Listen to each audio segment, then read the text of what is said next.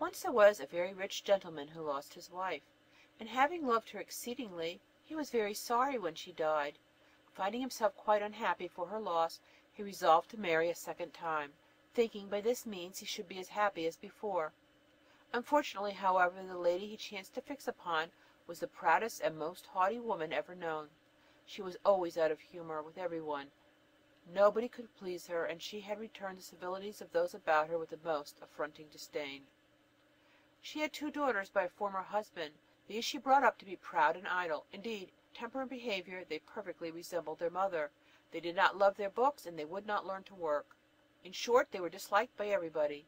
The gentleman on his side, too, had a daughter, who in sweetness of temper and carriage was the exact likeness of her own mother, whose death he had so much lamented, and whose tender care of the little girl he was in hopes to see replaced by that of his new bride. But scarcely was the marriage ceremony over before his wife began to show her real temper.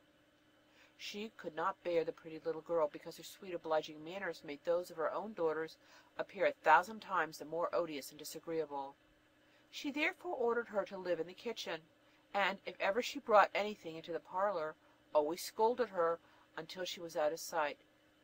She made her work with the servants in washing the dishes and rubbing the tables and chairs. It was her place to clean the madam's chamber, and that of the misses her daughters, which was all inlaid, had beds of the newest fashion, and looking glasses so long and broad that they saw themselves from head to foot in them; while the little creature herself was forced to sleep up in a sorry garret, upon a wretched straw bed, without curtains, or anything to make her comfortable. The poor child bore this with the greatest patience, not daring to complain to her father, who, she feared, would only reprove her, for she saw that his wife governed him entirely. When she had done all her work she used to sit in the chimney corner among the cinders, so that in the house she went by the name of Cinderbreech. The youngest of the two sisters, however, being rather more civil than the eldest, called her Cinderella; and Cinderella, dirty and ragged as she was, as often happens in such cases, was a thousand times prettier than her sisters, dressed out in their splendour. It happened that a king's son gave a ball to which he invited all the persons of fashion in the country. Our two misses were of the number, for the king's son did not know how disagreeable they were, but supposed, as they were so much indulged, that they were extremely amiable. He did not invite Cinderella, for he had never heard of her. The two sisters began immediately to be very busy in preparing for the happy day. Nothing could exceed their joy; every moment of their time was spent in fancying such gowns, shoes, and head dresses as set them off to the greatest advantage. All this was new vexation to poor Cinderella, for it was she who ironed and plaited her sisters' linen. They talked of nothing but of how they should be dressed. "I," said the eldest, "will wear my scarlet velvet with French trimming." "And I," said the youngest, "shall wear the same petticoat I had for the last ball; but then, to make amends for that, I shall put on my gold muslin train, and wear my diamonds in my hair; with these I must certainly look well." They sent several miles for the best hairdresser that was to be had, and all their ornaments were bought at the most fashionable shops. On the morning of the ball they called up Cinderella to consult her about their dress, for they knew she had a great deal of taste. Cinderella gave them the best advice she could, and even offered to assist in adjusting their head dresses, which was exactly what they wanted, and they accordingly accepted her proposal. While Cinderella was busily engaged in dressing her sisters, they said to her, "Should you not like, Cinderella, to go to the ball?" "Ah," said Cinderella, "you are only laughing at me; it is not for such as I am to think of going to balls." "You are right," said they; "folks might laugh indeed to see a Cinderbreech dancing in a ball room." Any other than Cinderella would have tried to make the haughty creatures look as ugly as she could; but the sweet tempered girl, on the contrary, did everything she could to make them look well. The sisters had scarcely eaten anything for two days, so great was their joy as the happy day drew near. More than a dozen laces were broken in endeavouring to give them a fine slender shape, and they were always before the looking glasses. At length the much wished for moment arrived. The proud misses stepped into a beautiful carriage, and, followed by servants in rich liveries, drove towards the palace. Cinderella followed them with her eyes as far as she could, and when they were out of sight she sat down in a corner and began to cry. Her godmother, who saw her in tears, asked her what ailed her. "I wish, I wish," sobbed poor Cinderella, without being able to say another word. The godmother, who was a fairy, said to her.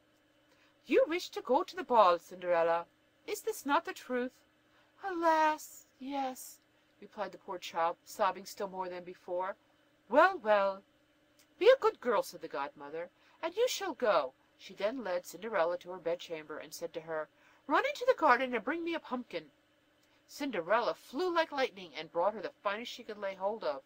Her godmother scooped out the inside, leaving nothing but the rind; then she struck it with her wand, and the pumpkin instantly became a fine coach gilded all over with gold.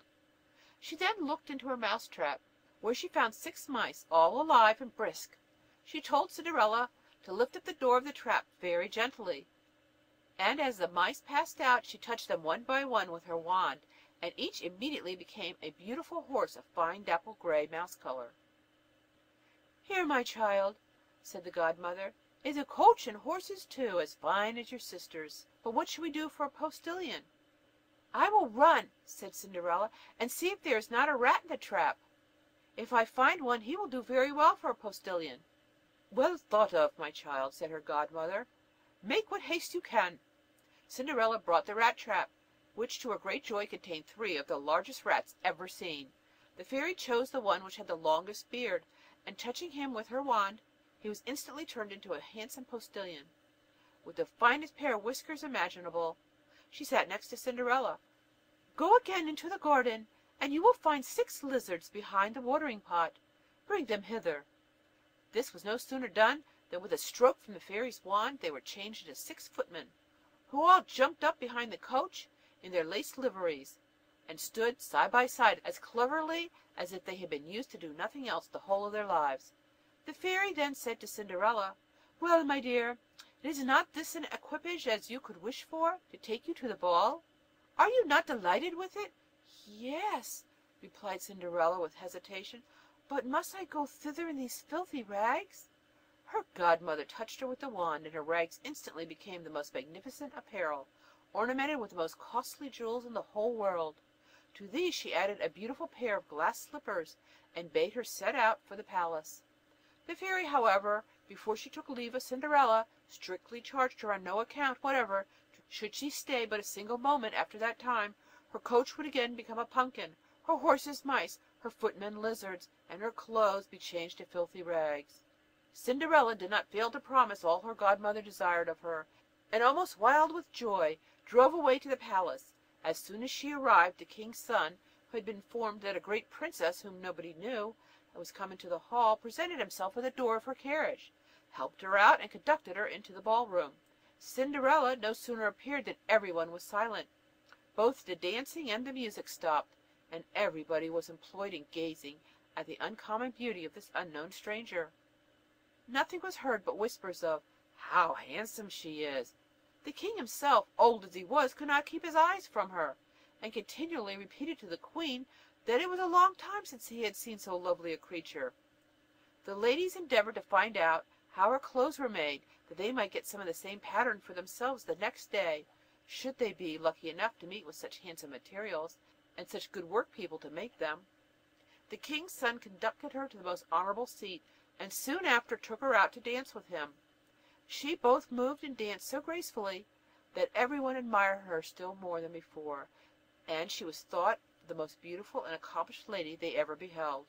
After some time a delicious collation was served up, but the young prince was so busily employed at looking at her that he did not eat a morsel. Cinderella seated herself near her sisters, paid them a thousand attentions, and offered them a part of the oranges and sweetmeats which the prince had presented her, while they on their part were quite astonished at these civilities from a lady whom they did not know.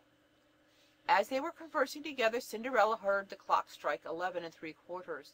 She rose from her seat, curtsied to the company, and hastened away as fast as she could. As soon as she got home she flew to her godmother, and, after thanking her a thousand times, told her she would give the whole world to be able to go again to the ball the next day, for the king's son had entreated her to be there. While she was telling her godmother everything that had happened to her at the ball, the two sisters knocked a loud rat tat tat at the door, which Cinderella opened. "How late you have stayed!" said she, yawning and rubbing her eyes, and stretching herself as if just awakened out of her sleep, though she had in truth felt no desire for sleep since they left her. "If you had been at the ball," said one of her sisters, "let me tell you, you would not have been sleepy. there came thither the handsomest, yes, the very handsomest princess ever beheld. She paid us a thousand attentions, and made us take part of the oranges and sweetmeats the prince had given her. Cinderella could hardly contain herself for joy.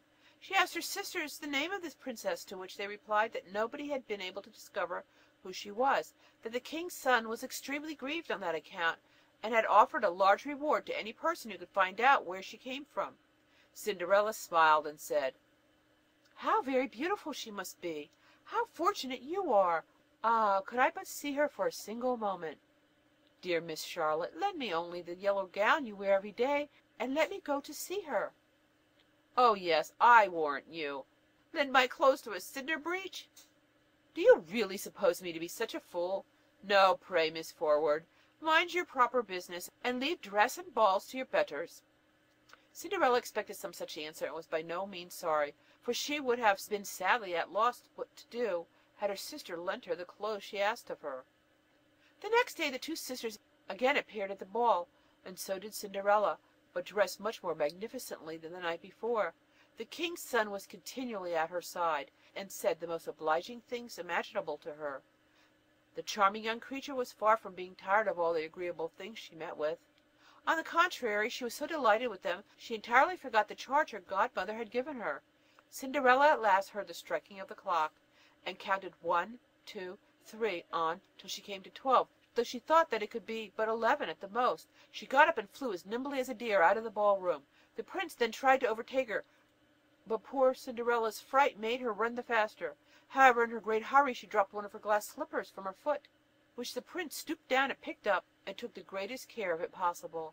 Cinderella got home tired and out of breath, in her old clothes, without either coach or footman, and having nothing left of her magnificence but the fellow of the glass slipper which she had dropped. In the meanwhile the prince had inquired of all his guards at the palace gates if they had not seen a magnificent princess pass out, and which way she went. The guards replied that no princess had passed the gates, and they had not seen a creature but a little ragged girl, who looked more like a beggar than a princess. When the two sisters returned from the ball, Cinderella asked if they had been as much amused as the night before, and if the beautiful princess had been there. They told her that she had, but that as soon as the clock struck twelve she hurried away from the ball room, and in the great haste she made had dropped one of her glass slippers, which was the prettiest shape that could be, and the king's son had picked it up, and had done nothing but look at it all the rest of the evening, and that everyone believed that he was violently in love with the handsome lady to whom it belonged. This was very true, for a few days later the prince had proclaimed by sound of trumpet that he would marry the lady whose foot should exactly fit the slipper he had found. Accordingly the prince's messengers took the slipper and carried it first to all the princesses, then to all the duchesses, in short to all the ladies of the court, but without success. They then brought it to the two sisters, who each tried all she could to squeeze her foot into the slipper, but saw at last that this was quite impossible. Cinderella, who was looking at them all the while and knew her slipper, could not help smiling, and ventured to say, "Pray, sir, let me try on the slipper." The gentleman made her sit down, and putting the slipper on her foot, it instantly slipped in, and he saw that it fitted her like wax. The two sisters were amazed to see that the slipper fitted Cinderella, but how much greater was their astonishment when she drew out of her pocket the other slipper and put it on. Just at this moment the fairy entered the room, touching Cinderella's clothes with her wand, made her at once appear all more magnificently dressed than they had ever seen her before. The two sisters immediately perceived that she was the beautiful princess they had seen at the ball. They threw themselves at her feet, and asked her for forgiveness for the ill treatment she had received from them. Cinderella helped them to rise, and tenderly embracing them, said that she forgave them with all her heart, and begged them to bestow on her their affection. Cinderella was then conducted, dressed as she was, to the young prince, who, finding her more beautiful than ever, instantly desired her to accept his hand. The marriage ceremony took place in a few days, and Cinderella, who was as amiable as she was handsome, gave her sisters magnificent apartments in the palace, and a short time after married them to two great lords of the